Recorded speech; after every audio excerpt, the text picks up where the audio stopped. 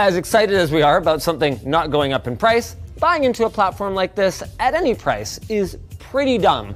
Even if it's just for bragging rights, that's still dumb. But it doesn't mean this is a dumb product. To be clear, he forgot to change the setting off from 10 minutes to just like render once, uh, but it's done. It already restarted. That was under a minute. We're at 909. 6870 points?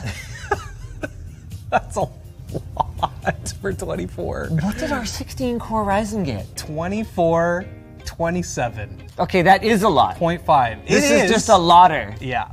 Okay, hold on a second. I'm running the stress test version, which actually is Oh a yeah, we should look at our wattage pretty good opportunity here.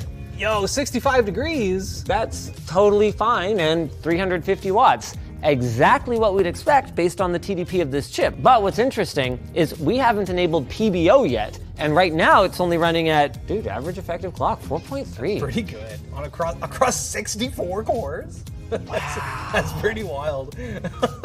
This thing rips!